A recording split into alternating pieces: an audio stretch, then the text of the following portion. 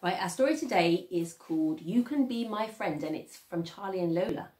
My children used to love watching Charlie and Lola when they were little. Um, here's Lola at the front and this is her friend who we're going to meet. Um, they're, the characters, the person who wrote the stories um, is a lady called Lauren Child. She's the author and she also did the illustrations as well. She's very clever, isn't she? Okay, here we go. I have this little sister Lola. She is small and very funny. Today, Lola is excited because Marv is coming over and he's bringing his little brother, Morton. Here's Charlie and Lola. They're looking very happy in the picture, aren't they? Lola says, Me and Morton are going to do lots of things together and have a tea party. I love having tea parties and dressing up. Everybody loves dressing up. Then I say, if you run out of things to do, Morton really likes playing round and round and round.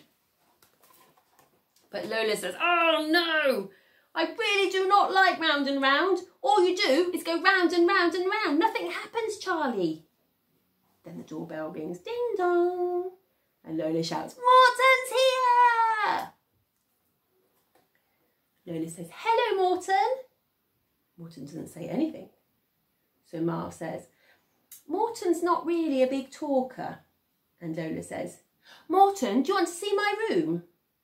But Morton still doesn't say anything. Lola says, Would you like a cup of tea, Morton? Morton just stares. So then she asks, Would you like a biscuit? oh, not a peep from Morton. Well, says Lola, what we'll do now is Dressing up! Look at me, Morton! I'm a mermaid! Morton, you can be a pirate! But Morton just stands there. So Lola says, I know. Let's pretend we live in Upside Down. Lola says, in Upside Down, absolutely everything is completely upside down. Would you like a cup of tea of cup, Morton? That's upside down for cup of tea. Morton doesn't even move. So Lola shouts, Morton, don't you want to play? Morton just shakes his head. I think he's feeling a bit shy, don't you? Later, Lola whispers, Morton didn't like any of my games, Charlie. He didn't even talk to me. So I say, Marv told you Morton isn't really a big talker. Then Lola says, but he didn't even say one single word. He doesn't like me. then Lola sighs.